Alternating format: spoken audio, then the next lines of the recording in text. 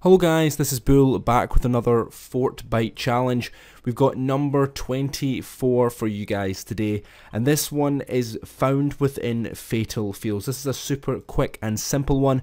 As you guys know, we're doing every single Fortbyte challenge here. Go link in the description down below. There'll be a playlist for Fortbyte challenges, so if you want to just go in that and have a look and see if you guys want to complete all of your Fortbyte challenges. So basically, if you come over to Fatal Fields, go into the main building, break through the roof, and you guys will be getting yourself closer to your Fortbyte challenges. All you guys need to go is downstairs and into the second room. This is the first room. I went in the wrong one by mistake, but if we go right into the second room, it's going to be in the corner for you guys to pick up. Hope you guys really enjoyed this video. Please leave a like, comment, and subscribe for more Fortbyte challenges. I'll see you guys in the next one. Goodbye.